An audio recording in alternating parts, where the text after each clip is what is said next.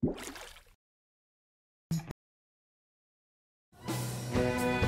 when his drinking and lusting and his hunger for the power became known to more and more people, the demands to do something about this outrageous man became louder and louder.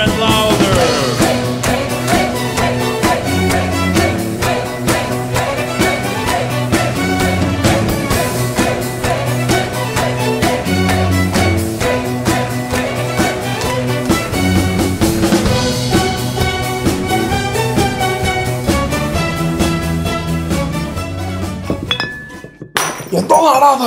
É.